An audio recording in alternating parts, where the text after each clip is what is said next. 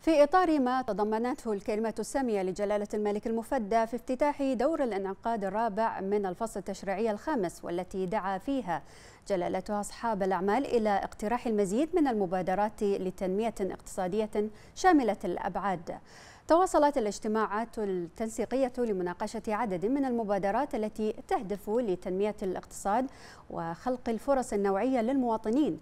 حيث اجتمع معالي الشيخ سلمان بن خليفة الخليفة وزير المالية والاقتصاد الوطني مع السيد سمير بن عبد الله ناس رئيس مجلس إدارة غرفة تجارة وصناعة البحرين بحضور عدد من الجهات ذات العلاقة.